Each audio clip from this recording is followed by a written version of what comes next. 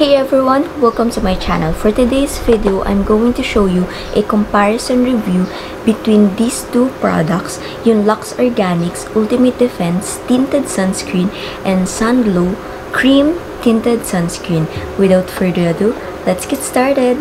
So first off, pag-usapan natin yung price. Yung Sunglow Tinted Sunscreen cost 429 pesos, samantalang yung Lux Organics cost 349 pesos. So, meron silang 80 pesos difference. Mas mahal si Sunglow kesa sa Lux Organics. Sa price range, mananalo talaga si Lux Organics. Now, let's talk about the packaging. Ito yung box nung Sunglow at ito yung sa Lux Organics. As you can see, sa box pa lang, panalo na si Sunglow kasi litaw na litaw siya. Pero papakita ko sa inyo yung itsura niya dun sa mismong tube.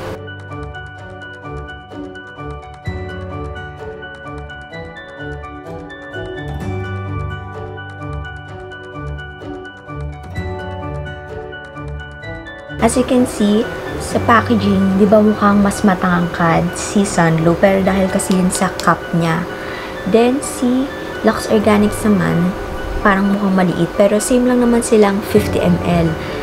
Ang pinagkaiba lang nila sa packaging is that ito kasi is by pump. Mas madaling mag-dispense ng product pag by pump. Samantalang ito kasi squeezy tube. Ang mangyayari, pag magbukas ka, kailangan nakaslant. Kasi may tendency na matapon yung product. And, yan o, diba? Hindi siya travel friendly. Ano siya, spill friendly. Kasi, ang bilis niyang matatapon sa bag mo. Dahil nga squeezy tube lang siya. Nakakatakot siyang ilagay kasi baka paglagay mo, matapon yung, diba, yung makeup dun sa product mo and that's a lot of mess. Let's talk about naman yung ingredients. First is si Sunglow. Si Sunglow, enriched with Centella asiatica, niacinamide, and sunflower oil. Then si Lux Organics has galactomyces, ferment filtrate, and vitamin C. So based dun sa mga ingredients, si Sunlow is best for acne-prone skin, samantalang si Lux Organics is best for antioxidant, or anti-aging and brightening. So, dun sa benefits ng dalawa, it really depends on the person kung anong pipiliin nila. So, pareha sila panalo sa round na to. Next will be texture. Yung texture niya, papakita ko sa inyo, dito ko ilalagay si Sunlow, dito ko naman ilalagay si Lux.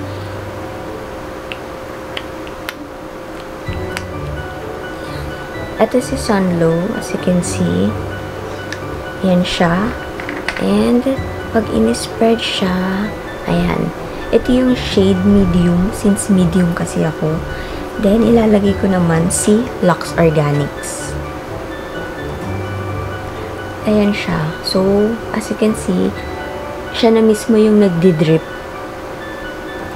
Sunglow has a thick consistency, samantalang si Lux Organics, meron siyang watery na consistency for me, sa round na to, mas pipiliin ko si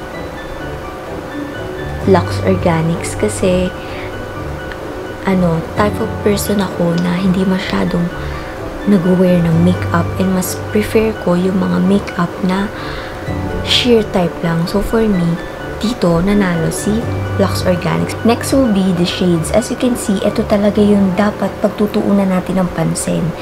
First na isa-swatch natin is si Sunglow, yung kanilang fair, medium, and deep na tinted sunscreen. Ito yung mga swatches ng mga shades nila. Yung Sunglow tinted sunscreen has fair, medium, and deep shades. Samantalang si Lux Organics, meron siyang fair, natural, and warm shade. As you can see, yeah, mas maganda yung shade range sa tingin ko pa lang. Well, tingin ko rin naman dun sa website nila, mas magaganda yung shades ng sa Sunglow kasi it caters Morena Beauty. So, isa-swatch natin siya dito para makita nyo yung differences. So, na-swatch ko na siya sa face ko. Ito yung sa Sunglow. Ito yung sa Lux Organics. This is in fair, medium, and deep shade. Then, ito naman yung fair, natural, and warm shade. Ayan siya. Based dun sa swatches natin, I may conclude na mas magaganda yung shades ni Sunglow kesa kay Lux Organics kasi yung kay Sunglow, it cater Morena Beauty skin tone. Para sa akin lang, ang request ko lang sana kay Lux Organics is that magkaroon pa sila ng more deep shades kasi hindi lang naman ako yung bibili nito. Marami sa atin, mostly mostly mga Filipino has morena skin tone. So, I guess sana maglabas sila ng mas, ano na shade, mas dark. Kasi for me kasi, ang shade ko is si natural and medium. Next naman is yung coverage. Papakita ko na siya sa face ko kung ano yung difference ng dalawa, kung ano ba yung mas full coverage, ano ba yung semi lang, ganun. So, ito siya.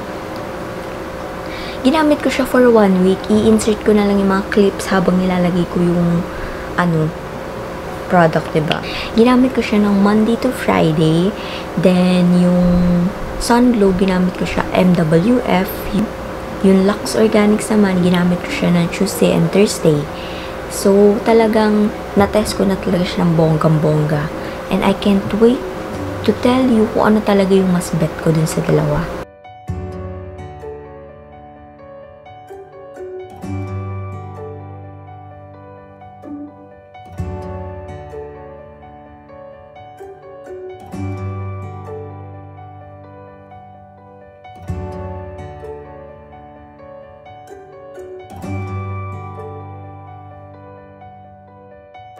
So, as you can see, hindi siya pantay kasi hindi talaga siya papantay dahil mag-iba sila ng shade.